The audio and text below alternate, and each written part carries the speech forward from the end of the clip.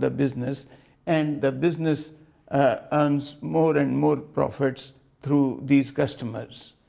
And also, when we are talking of customers, naturally there are other businesses also supplying the same customers or serving the same customers. And who are these? They are our competitors. Competitors are other organizations that are producing the same goods that we are producing. Rivalry between competitor is usually the most serious force facing managers. High levels of rivalry often means lower prices, profits become hard to find.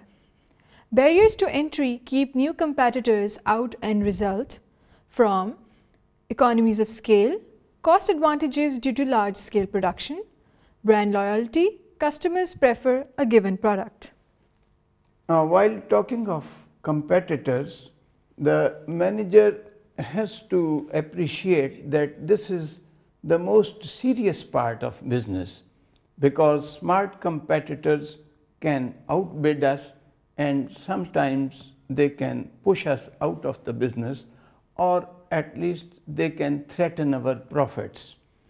Uh, how do we compete? There are a number of strategies using economies of scale, introducing new technologies uh, by having smarter, more well trained human resource, having uh, good training programs, and uh, also motivating our own employees and serving our uh, customers better. That is, again, as I said, we have to have customers' satisfaction. So, these are the factors which help us compete in the market. And the manager has to uh, take note of the fact that this is a very important part of task environment as the competitors are also using all these tactics all the time. So, this is a matter of uh, competition of the smartness of managers. And from here we come to industry life cycle because the role of sellers, the role of suppliers, buyers, customers and competitors all vary during various phases of a business. A business has life cycle, it starts, then it grows, it attains maturity, and shake off period also and then sometimes it may decline sooner or later. So, these uh, business phases, life cycle phases have the problems related to the customers, suppliers, distributors and also the competitors. Industry life cycle reflects the changes that take place in an industry over time. Birth stage, firms seek to develop a winning technology. VHS versus Betamax in video or 8 track versus cassette in audio. Growth stage, product gains customer acceptance and grows rapidly. New firms enter industry, production improves and distributors emerge.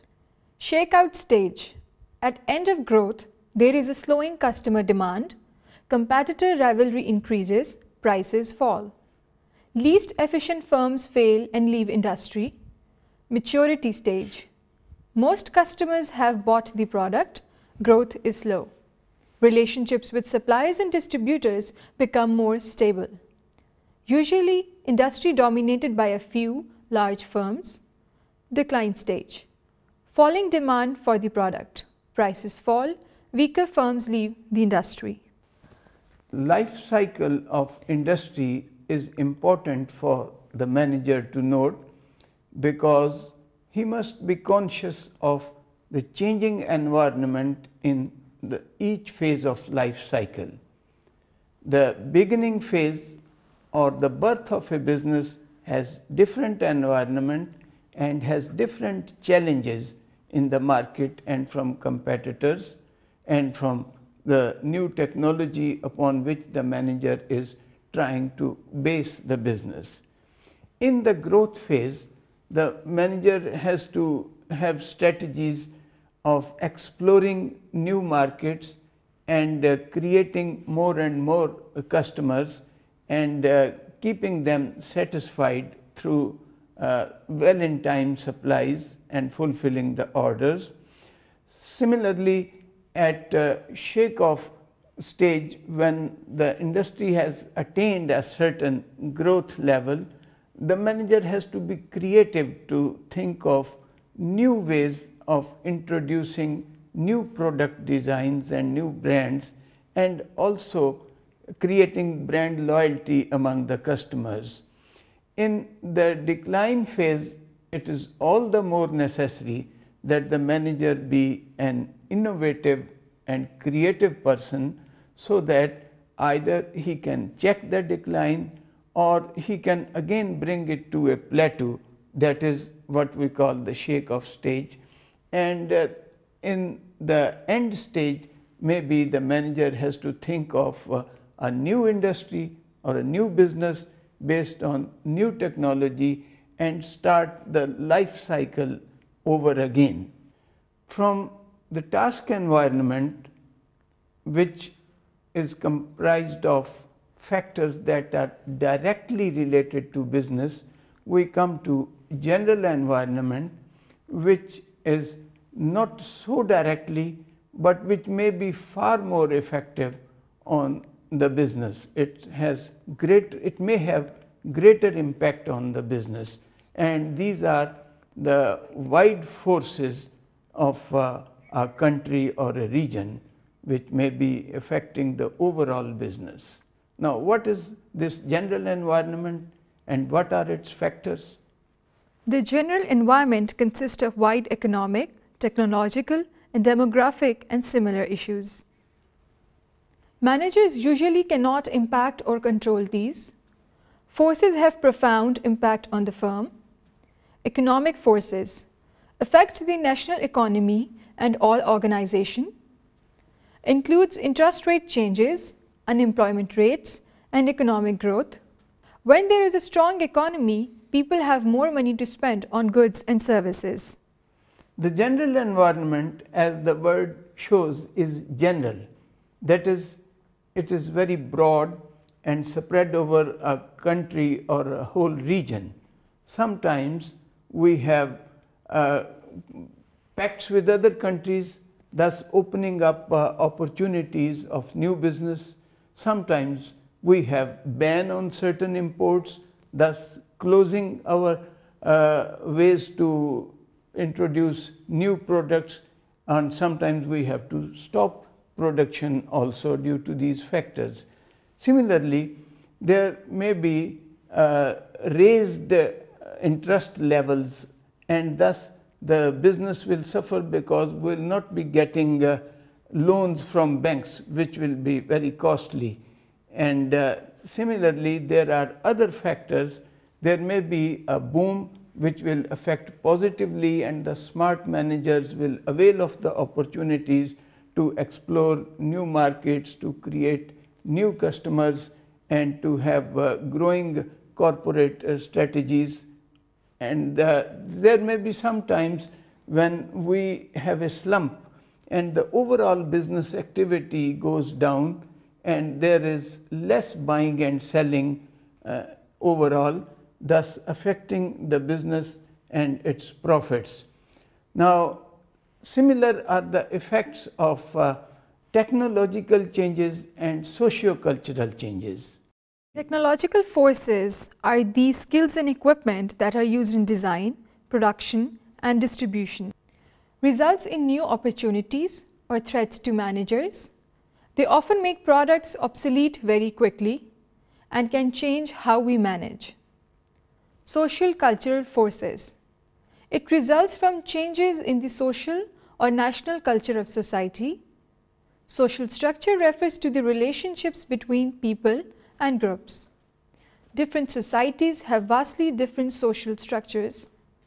National culture includes the values that National culture includes the values that characterize a society. Values and norms differ widely throughout the world and these forces differ between cultures and over time. Technology is something very basic to modern times and modern business. Rather, all production depends upon technology and day in and day out new technologies and new techniques, even new tools and implements and instruments are coming.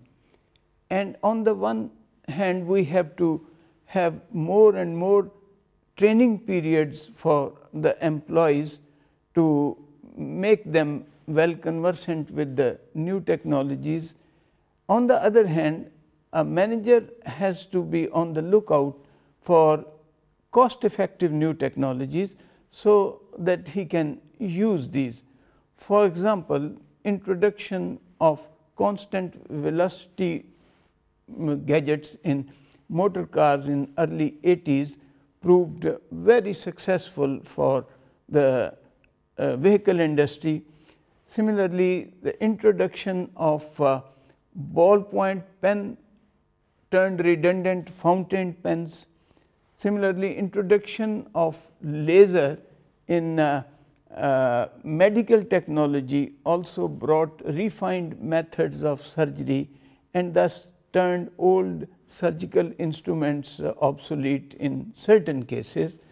And there are a number of other examples in which one can see that the change in technologies or rising of new technologies can help the managers and also the managers who are not quick enough to leave the obsolete technology may suffer and uh, their production may not remain cost effective. Cultural changes of course are uh, effective in our market because as the culture changes as we can see in fabric designing the cultures have their own fabrics, but cultural changes also bring the changes and those changes have to be adopted by the designers. Similarly, in filmmaking, in book production and in other uh, industries also, the culture affects all sorts of designs and uh, therefore, the business managers have to be wary of all these factors and uh, respond to the cultural changes also to make their business successful and more profitable. The last point is the effect of demographic forces on the task environment. Demographic forces are the changes in nature, composition and diversity of a population. These include gender, age, ethnic origin, etc. For example, during the past 20 years, women have entered the workforce in increasing numbers. Currently, most industrial countries are aging. This will change the opportunities for firms competing in these areas. A new demand for healthcare, assisting living can be forecast. Demographic forces relate to populations and they relate to gender balance in populations, age groups or the relative strength of age groups in populations, and also the regional concentrations of various populations. Sometimes they are there are changing demographic forces due to mass migrations or internally displaced persons as it happened in certain countries uh, when there were big earthquakes or the floods. So, these naturally affect markets and uh, the managers have to note what sort of changes are coming in the population. They have to note it with reference to their needs of manpower also because the structure of human resource is different in the countries where the population is aging and there are less young people and they have to use immigrants as workers. Sometimes in some countries there is a great population of youth.